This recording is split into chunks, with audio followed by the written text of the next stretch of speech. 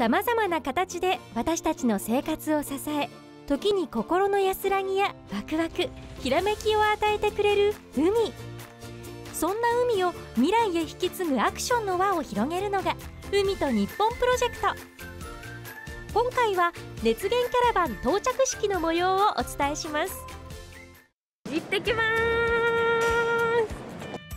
への熱い思いを持ち社会を変える力の源となる人を熱源と呼び全国の熱源やその活動をつなげることで美しい海を未来へつなげる大きな力を生み出すことを目的に熱源キャラバンは9月上旬にスタートしました。海のつなぎ手としてキャラバンカーに乗るのはミュージシャン門脇大樹とヨガインストラクターの市川さゆり。およそ2ヶ月にわたるキャラバン。全国各地の海はつなぎ手にさまざまな表情を見せてくれました。もうまさに今到着されたということで私たちのいる、はい、こちらの特設ステージの方にもですねおかえりなさい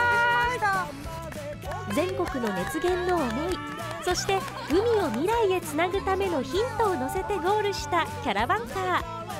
到着式ではキャラバンを通して海のつなぎ手が学んだ海の素晴らしさや問題課題などを次は全国へ伝えるという新しいミッションも発表されました。海ごみ問題だけでも解決策が一つじゃなかったりとかその解決する理由が一つだけじゃないっていうのがあの本当たくさんの場所で知れたっていうことはここ今後僕もかなり活かせるなっていうのはあの思いますし。改めて日本って素晴らしいとこだなって思ってやっぱこれだけ海に囲まれてて海の生き物もいてそれに気づかないでいるのが逆にもったいないっていうのも思ったしそれを伝えていきたいっていうのもやっぱり思いました。そして来年2021年の11月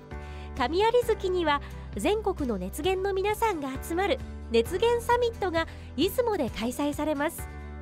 島根県が海への熱い思いで包まれそうですね。